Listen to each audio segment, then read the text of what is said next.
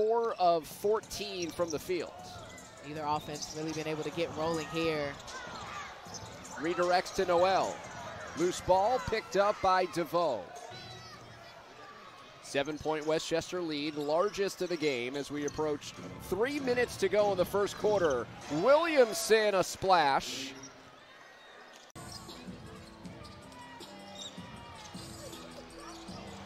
Harden at the rim denied, and it's out of bounds to Memphis.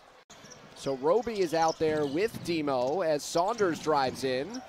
Underneath to Love with his back to the basket, puts Memphis back in front. Love was there to defend. Skapintsev on the offensive glass was stripped. DeVoe fakes the pass, fires the three, and bags it. Giroux pivots, thinking about the fadeaway instead. A feed to the corner, and Allen circles down a three.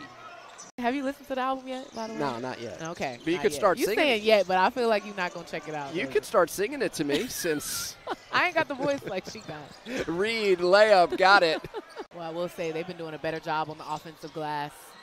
The defensive glass, excuse me, been able to come away and not let them get any second chance points. Change of direction, Noel. Back to Skapintsev. It's Roby. Baseline, Roby. Denied.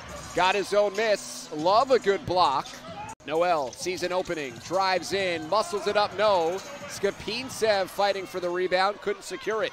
Three on one the other way. The drop off for Reed. Extra pass and muscled in by Williamson. I mean, they have certainly stepped it up as the game has gone on. Most teams gotten settled in within their offense. And that's a prime example right there. What a pass to find Hurt underneath.